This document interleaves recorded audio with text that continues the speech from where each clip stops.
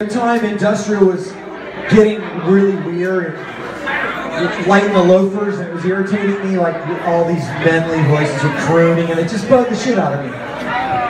And so I recorded this in that style, even though I do love Duran Duran and I love the songs Planet Earth.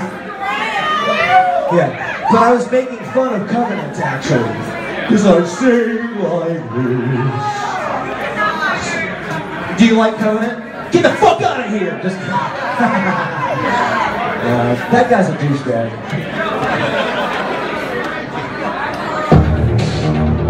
Uh, the only caveat is to me singing like the guy from Covenant is you have to suck fucking dance. I'll dance, you dance, I'll sing like Covenant, you fuck off. That's the deal.